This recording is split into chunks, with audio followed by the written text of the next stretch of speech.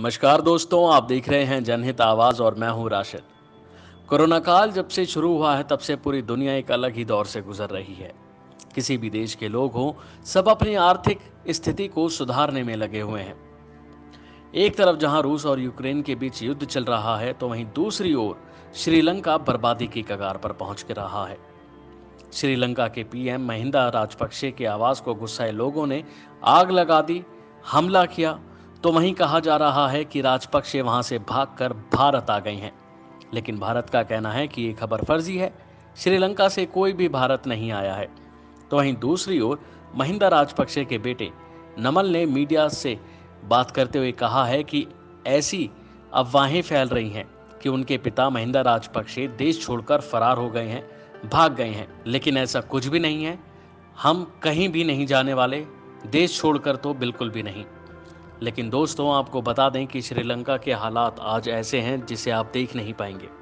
वहाँ के लोग भूखमरी की कंगार पर हैं, महँगाई अपनी चरम सीमा पर है। पूरे श्रीलंका में हिंसा मची हुई है, हालात बेकाबू हैं, जनता सड़कों पर है। हर चीज़ महँगी हो रही है, महँगाई बढ़ रही है मारा मारी मच रही है और लोग मर रहे हैं।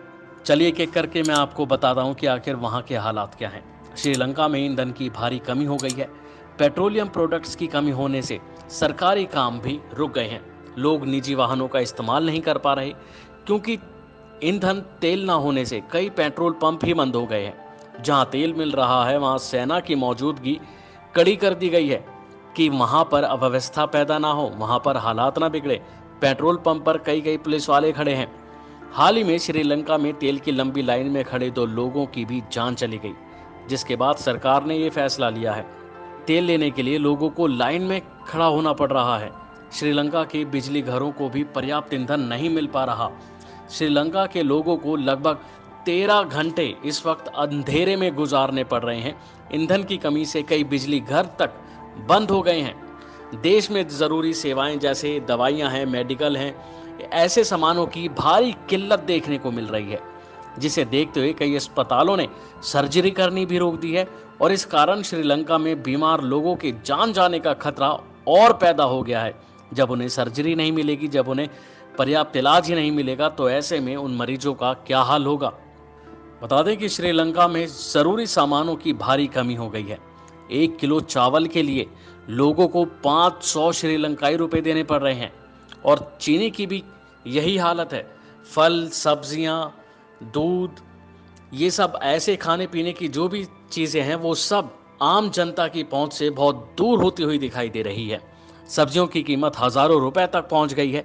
ब्रेड इतने महँगे हो गए हैं कि गरीब लोग उन्हें खरीद नहीं पा रहे। ऐसे में लोग भूखे रहने को मजबूर हैं और वो पाई पाई को मोहताज हो गए हैं। श्रीलंका के कई लोग देश छोड़कर पड़ोसी देश आ रहे हैं। गंभीर खाद्यान्न संकट के लिए लोगों का कहना है कि सरकार की खराब नीति इसके लिए जिम्मेदार है।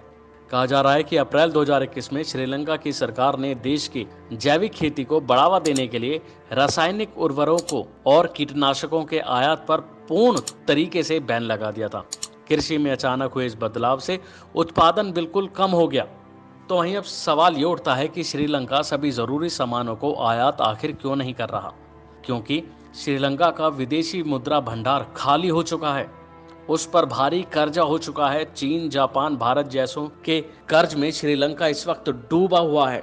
श्रीलंका का विदेशी मुद्रा भंडार जनवरी से 70 प्रतिशत तक गिर चुका है और इसी वजह से वहाँ आयात रुका हुआ है क्योंकि वो बाहर देशों से चीज़ें नहीं खरीद पा रहा क्योंकि उसके पास पैसा ही नहीं है। उसका खजाना खाली हो गया है।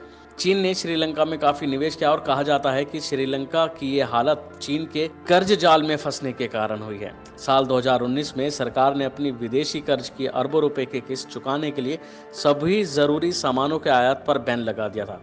अब भी श्रीलंका पर कई देशों सहित अंतर्राष्ट्रीय मुद्रा कोष का भारी कर्ज है, लेकिन वो कर्जों की किस्त तक नहीं भर पा रहा है।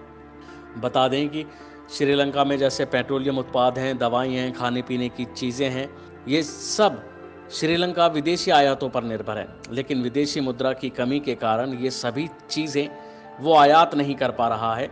लोग दाने दाने के लिए मजबूर हैं खाने पीने के लिए बेबस हुए पड़े हैं, पैसा नहीं है, सड़कों पर मारे मारे फिर रहे हैं। आधे पेट रहने को मजबूर हैं, कभी रोटी मिल गई तो कभी नहीं मिली। श्रीलंका की जो हालत है, वो कोरोना काल के मद्देनज़र भी देखी जा रही है, क्योंकि वहाँ पर टूरिज़्म बिल्कुल भी नहीं है। कोरोना काल की वजह से घट गया है, जो उसकी अर्थव्यवस्था में 10 प्रतिशत का योगदान देता था। कोविड ने पूरी तरह से सब चौपट कर दिया है। लोगों का रोज़गार छिन गया है और वहाँ पर लोग किस तरह से सड़कों पर मजबूर हैं, और ये देखने वाली बात होगी कि वहाँ पर हालात कब सामान्य होंगे।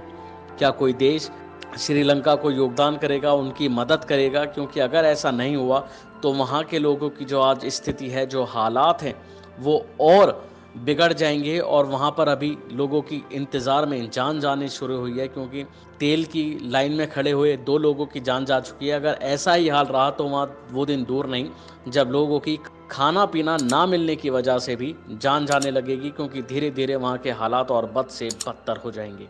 दोस्तों, वहाँ के हालातों पर आप क्या कहना चाहेंगे, हमारे कमेंट बॉक्स में ज़रूर बताएँ।